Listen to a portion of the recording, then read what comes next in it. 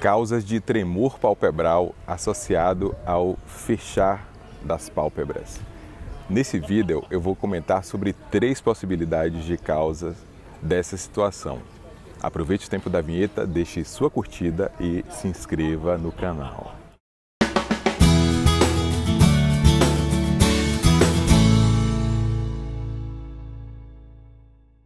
Inicialmente, obrigado, dona Maria da Conceição, pela pergunta que é bem interessante. Ela diz que tem um tremor palpebral associado a, a que as pálpebras ficam fechando. Então, eu vou comentar três possibilidades nesse vídeo. E antes, eu vou lhe perguntar para você que já visitou o litoral norte da Bahia, se você conhece esse lugar. Olha que lugar espetacular. E se você conhece esse lugar, deixa aqui nos comentários que eu vou lhe revelar qual lugar que eu escolhi para fazer esse vídeo de hoje. Então vamos lá para a resposta para dona Maria da Conceição. É, a primeira possibilidade é de um blefaroespasmo. O blefaroespasmo se apresenta como uma condição em que existe uma contração involuntária da pálpebra, muitas vezes dolorosa e com o fechamento palpebral. Essa condição ela deve ser reconhecida pelo médico oftalmologista porque existe um tratamento que é eficaz, que é a aplicação de botox na musculatura que faz essa contração ao redor do olho. Então, a aplicação de botox nessa situação, ela pode funcionar muito bem para esse tratamento. E para isso, o diagnóstico ele precisa ser muito bem feito. A segunda possibilidade, a gente considerando que estamos em 2021, e que ainda estamos sob, é, sob uma pandemia é o estresse. Então o estresse ele pode provocar reações de contração involuntária das pálpebras e isso tem sido extremamente frequente, inclusive vejo aqui nos comentários de muitos vídeos sobre essa pergunta que é uma pergunta recorrente. Então se você está muito estressado, isso é de fato uma causa de contração involuntária das pálpebras e algumas vezes pode haver o fechamento palpebral associado.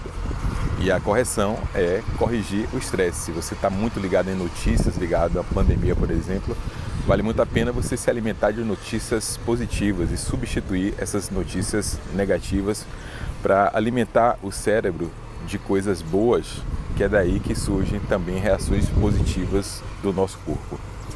E a terceira e última possibilidade que eu levanto é de uma doença da superfície ocular uma inflamação de superfície que é muito frequente, principalmente na condição que é o olho seco.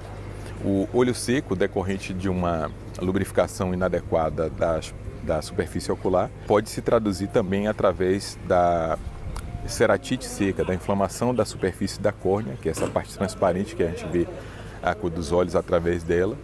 E muitas vezes essa condição provoca também uma reação principalmente de sensibilidade aumentada à luz, e essa sensibilidade provoca o fechamento palpebral muitas vezes involuntário.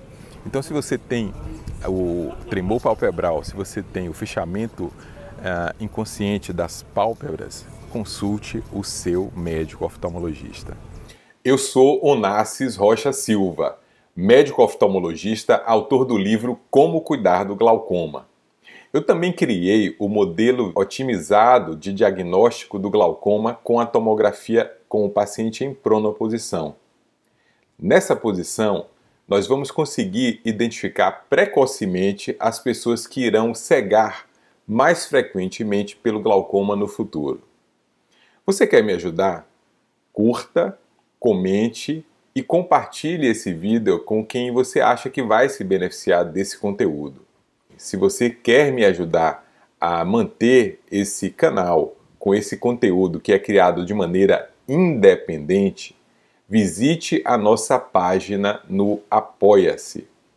No slide final, você vai conhecer as nossas mídias sociais. A visão é o sentido mais importante do ser humano. Um grande abraço e até a próxima!